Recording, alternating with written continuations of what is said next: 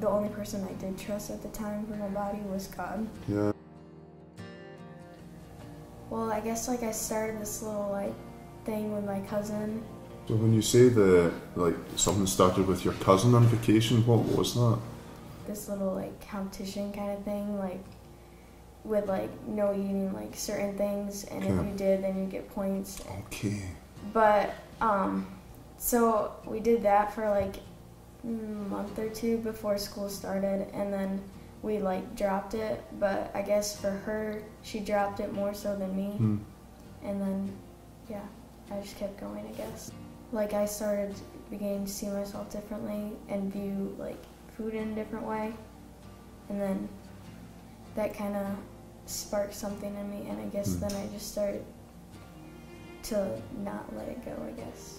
So were you trying to like? Did you think you were needing to lose weight, or just want to be more healthy? No, I, I guess at the time I just when I started it, it didn't even like really affect me. Like I didn't never like viewed myself like I needed to. It wasn't Hmm. really for me Hmm. at the beginning. And then I guess just afterwards, I liked the way that, or I felt like it was making me look different Okay.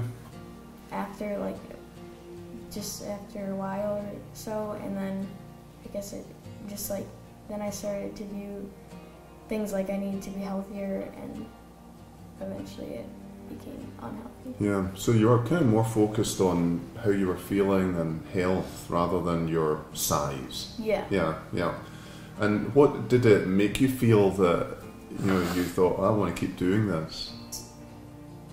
Probably feeling healthier or just, and like I think just trying to like fit and like make look good for like society, I guess. Okay. Yeah. Because that's what everyone did, I guess. Okay. Okay. But when did it grow into a problem? Like when, when did you did you realize it was, or was it your mum and dad? Um, I mean, I I never heard of the eating disorder before. Like, I felt like something was different because I felt like I needed to work out or like, like after I ate or something, like I'd have to like burn it off or something. Yeah. So I guess that was kind of a problem, but like eventually as I started to like um, restrict, then I guess I thought I was just being healthy, like Hmm. eating less.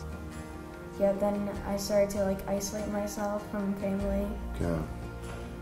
And then I felt like it was more of a problem. Yeah. So when did when did you realize like something was different about Maci? Probably Kim more so than me, but yeah, we seen, like she said, isolation. Like if we were at the dinner table and yeah, she wouldn't want to eat Hmm. what we were eating, and and yeah, she'd go leave the table and go down to her bedroom and just kind of lock herself away from us. And every time at dinner, or just you know, I mean, I think you know Lexi could speak to it too. I mean, they were you know very close Hmm. as you know they would get ready in the bathroom together and it Mhm. was uh, no big deal and then all of a sudden it was no Okay. more Okay. Yeah. maci would get ready by herself and Mhm. Keep lexi out of the bathroom Mhm. and uh, so yeah it was just it became isolation and, and isolation from us isolation from eating with us um, Hmm. No, I thought she was depressed. Okay. honestly. Yeah. Yeah. I thought that's what we were dealing with. Yeah. So what did you do, Kim? You're probably trying to get close to her Um, and figure out what's going on, and Yeah. Um, we tried to set up an appointment with a counselor, and that took weeks hmm. to get in somewhere. And yeah, really to no avail. yeah. So, yeah, we eventually ended up at the pediatrician. Okay. And then, yeah. So are you losing weight at this point, Maci? Yeah. Yeah. Yeah. Um. Yeah. I. I guess I could tell probably, but didn't think too much about it. Okay. And it was, I feel like it was fall going into winter, Hmm. so she had a lot of baggy clothes Yeah. on. She Mm, always wore mhm, baggy mhm, clothes. Right. Well, and I would Um, say one of the biggest things too was, I mean, you were playing. I think you were playing basketball at that time, Mm-hmm. and you could just see out on the, on the court, like Mm. just Mm.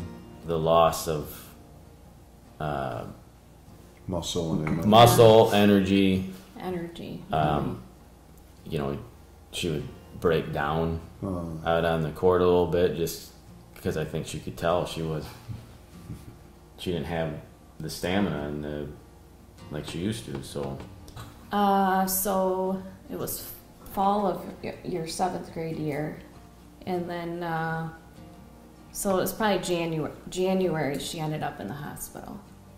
So just over a season, really, yeah. four or five months. Yep. Yeah. Why, how did you know you'd had to get to the hospital? What was the alarm there? Um, I remember the um pediatrician holding her wrist, listening to her heartbeat, Mm. and her saying, looking at me and saying, "I'm so sorry, but we have to admit her." And I think him and I still did not know what we were dealing with here.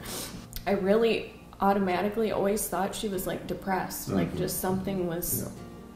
She just couldn't get out of it. Um, Were they feeding you? Were they trying to Yeah. nourish Yeah. you? And, yeah. so What- that's what it, yeah that was the They call it the refeeding process, Okay. Okay. which um, you still have to be very careful Mm. because when you're restricting for so long, um, you have to be careful as you refeed. Yeah. Well, from there we went to um, Forest View. Uh, oh yeah. So what is that? Is that an inpatient or an outpatient? So you Inpatient. you yeah. stay in, and it's focused on not just the physical, maybe, but talking to you as well. Trying to, Yeah, yeah. It's, there's like therapy and, but there was all different kind of like mental illness like Mm. people there, so Right. it wasn't very centered on like eating disorders. Yeah. So So you did that. She did the program at Forest View for a week, Okay. and then after that, then it was um, weekly appointments with a dietitian, a therapist, weekly weigh-ins Mm. every week. You making progress at this point, or is it? Um, oh yeah, physically. Okay. okay. Physically. Yeah. I felt like once I got out, I started like we were on a meal plan from after Forest View, which I hated, but Yeah. so I felt like those are. I started like doing that, but I tried to like gain control over that. Okay. and like restricted where I could on the meal plan, I Mm, guess, mm. and then just kind of fell apart, I guess. As- Started losing weight again, or yeah, Yeah. And what? Where were you, like spiritually in this, Maci? Are you praying? Are you? um, I was angry with God. Oh, were you? Aye, aye. I mean, I felt like I still. It definitely helped me grow my faith, but Mm, mm. yeah, I was kind of mad. and didn't really understand why. Because here you are in your young teens, it should be you know happiest time of your life, and and yet you're going through so much pain. And I didn't really want to like, you know, if like like someone would give me a verse or read me a verse. I don't. I think I just didn't want to hear it. Yeah, yeah, I know. It's like adding to the pain sometimes. Yeah, Yeah. it just made me angry. You, know, you you end up going back to going to this place in Indiana, Yes. and what happens there? What do you, what, how do they try and help you there? Prior to that, she had texted her um, counselor because she had her number, so she could text at different times if she needed to. Hmm. Um, but she had told her that um, heaven sounded a lot better. Hmm. Um, Hmm. and then she had tried to call us at the time, and um, we were kind of shut all our phones off at the time. And we're having a family meeting, I guess you could call it, because yeah, I felt like we were at a crossroads. the cop showed up to our house. And uh, yeah fire department local fire department. And the the one just really was just very sincere and just you know just telling her that you know she's special and that god loved her. Hmm. And uh, yeah, to hear that from uh, you know a cop or the police, you know, and it was I thought pretty special moment. Yeah. Um, but uh, that's what led to Ohio. Selah House. Selah House is, um, how would you describe that, Maci? Um, the house is big. Um, lots like bedrooms and stuff. It was yeah, a lot nicer. I mean, obviously I didn't want to be there, but once I like settled in after a while, because I was there for two months. Two roughly. months. Mm-hmm. Um, once I like settled in, like, I mean, looking back now, like it was really nice. and- What happened during the day there? Um, we wake up, get um, vitals, and then like get ready for the day, like dress, brush teeth, whatever you need to do before, because you can't really go up to your rooms during the day then until night. Hmm. And then uh, we'd like have breakfast, then do um, a group meeting or like a group session, like therapy session. Then home time. So is it mainly focused on education, like teaching you what's happening in your body? Yeah, a lot like of like therapy and stuff, but? Helpful? yeah. Yep, yep, I felt like it was helpful, yeah. yep. For the Yeah, I think we And- felt like the spiritual piece was missing Yeah. at, at each place Mm. she went to. Mm. yep. Um, and then we hit a um, crossroads where we quit a licensed counselor and dietitian, and just because, for lack of a better term, ordinary people just came up and supported her Okay. and Okay. stepped into that role as um, as a mentor, um, as a nutritionist. mm. Um, yeah, just and these the are Lord. people that are not getting paid. Yeah, yeah, right. Just caring, loving. caring, loving. And they are just there all the time, really, for you. yeah. I mean, they, yeah, she texted them all the time. We finally just, yeah, we quit going to weigh-ins. We, Mm-hmm. Yeah. And actually, it was just a relief. Okay, Okay. less intense. Mm-hmm. You must have welcomed that. You must Yeah. have liked that. Yeah, I I felt like with the with like the people I was going I was seeing instead of um, my therapist and like registered dietitian or whatever, I just felt like it was more of like support and just like talking and like because like I felt like you could hear some of like their story and I mean it wasn't like all about me and Okay, everything. Like it wasn't focused on me. Felt like it was more of like just like support and talking to each other instead of just like like angled on me and like That's interesting the way you put that. Yeah, yeah. what can you do like to get better and stuff like that and i felt like hanging out with them it was more a retreat from like my eating Yeah. disorder because Yeah.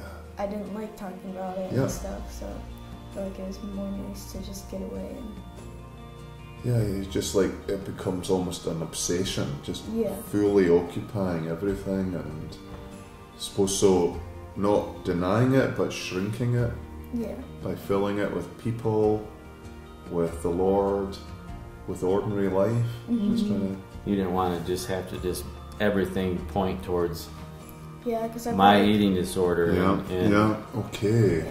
Like you could just talk. So that's a good piece of advice for people who are wanting to help. You don't need to talk about the problem Right. all the time because you're more than the problem, Mm-hmm. right? You can't be defined by this. It's a part of you. At times, a big part of you, but never the whole of you. And I, I loved the way you put that there. Just you would think focusing on you would be a help, and yet you're saying actually the opposite. Not ignoring you, and yeah but getting into a much better balance of yeah, this is me, but who are you, and what's your life doing, and hmm I will say too, we had support from others that have been through it too. Okay, so So how did that you? was great for us. was that in a support group or more informal? Just just informal. okay. And really from people that we had no idea Is that that they had a child going through it Right. Or had gone through it. Yeah. But yeah, that was great support Hmm. for us. Hmm. You know, and maybe it was just a dinner out or texting between a mom to a mom. Yeah. That was that was great. Right. So, anything at church help you through this? Like, was was worship a help? Was being Um, with others, or do you just want to be alone? Music helped a lot. Yeah. Like different songs spoke to me more. we just used music and you know Christian music and, and like I said certain songs just jumped out and just really helped us cope uh, Mountain of God by third day the, the way that you know I thought that I was alone broken and afraid but you are here with me and I think it I think it calmed calmed you at the time Yeah. like and, and it was really cool too as we had you know some really cool nurses that like we were playing some Okay, song or music okay. and i remember the one singing to one Oh, of the really? songs Yeah. too so Or um, Wonderfully Made by Ellie Holcomb. That Okay. one mom played for me too. Wonderfully made. Yeah. I don't think I've heard that one. Well, I think it's kind of old, but okay. I'll look at it. And as we go through this just how god is orchestrating this whole thing and just you just yeah it's Yeah. not what what we do it's what he's doing through us Yeah. So yeah, it's quite something how, by the grace of God, he just like I got this. Yeah. Like Yeah. Like, without your sister at home, it must have felt very hollow, did it? Is it? Yeah. It was weird, like going to school and just not thinking she was at school, like she was somewhere else. And I just wished like I could do anything to help her. Yeah. Yeah. How about you, Owen? What was your response to this? I was confused just seeing her and my mom in tears all the time, uh-huh. just knowing what's wrong with her. Just a lot going through my brain. Yeah. And yet, you couldn't help. You kind of feel helpless, don't you? Yeah. Yeah. How was your faith going through this? What did you find it a struggle or a strengthening time? Um, I would say I found it it's a strengthening time. Yeah. It was just so, so cool to see like how brave like she is. Aye, yeah. Like seeing how God was with her like this Yeah. whole time. I love the way you frame that. I think so often, you know, the people go through an eating disorder or depression or anxiety and they get blamed. You know, people always try to blame what you know. It's your fault. And you got instead of seeing them as the bravest, most courageous people. I, mean, I think I've said this in the pulpit before. My biggest heroes in in the church are those who battle through mental illness, eating disorder, because they're holding on to God hmm when they have no help, Yeah. inside, outside. It's like you're clinging on with your fingernail um, on the edge of a cliff. That takes just enormous faith and courage. we know that this wasn't brought on by, you know, by us or Yeah. Yeah. Um, I think the benefit of us coming out, so we coming out or we let the church know. Right. Yeah, the benefit far outweighed, Yeah. you know, any. I mean, we had so much support. Uh, Yeah. Mace got a ton of cards. did she? Uh, Yeah. And so did we. yeah, it was pretty cool to see how the church came around us and What, what would you say to people who are have have a loved one going through a time with an eating disorder or some other similar impactful suffering? What what's helpful? What's unhelpful? Maci, maybe you can answer. What did you find helpful, or what did you find unhelpful? I mean, obviously, when I was gone, um, like the cards and everything that kind of like encouraged me a lot. I mean, I kind of felt. I mean, I was kind of nervous to come home Yeah. and like, like be in front of all of them, knowing that they knew every like I was gone. But I mean, being away, like cards and like gifts and all that, that like. I mean, you're gone and obviously it's not the same. So like those like little notes just kind of helped a lot. Yeah, yeah. Um, I could speak to one thing, you know, as we, as she talked about how her faith was growing, and, and I think all of us were. But uh, the the thing that really s- stuck out was even at like Forest View, um, you know, she was one of, on the younger side, mm, but her spiritual maturity was what I think jumped out to so many of them. And, and when we left Selah, um, they kind of have a send off or whatever. And, you know, they make relationships Yeah. there. And, and um, the, the one thing that just, you know, you could be proud of as a dad is to think through this, her, her faith grew and it, and it. Yeah. and it spoke to others. Like her story is going to change Yeah. other stories, and, and it and it was already right Right. It was doing it there. Yes. with those girls. Like Yeah. like they, that was what was spoken about her. Just how her faith and spoke to them there, you know, at a young age, and you're just. It was very cool to hear, and In the midst of all this whirling, there's a, this beautiful seed that's becoming a plant, that's becoming a branch, a tree. Yeah. Yeah. I mean, I've only known you, Lexi, for uh, Maci, sorry, for um, a year and a half, year and a half. And yeah, I would agree with your like the maturity of faith. I see in you the settledness, the peacefulness.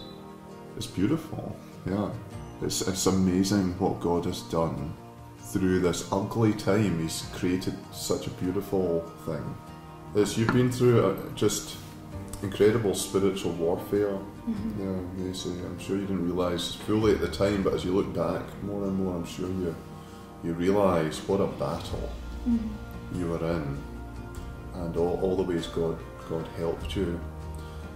Looking back, like no amount, like I could no amount of the like therapy or what anyone like told me, I guess like was helping me heal. I think ultimately once like I started getting in like growing in my relationship with God, that's when I started to heal.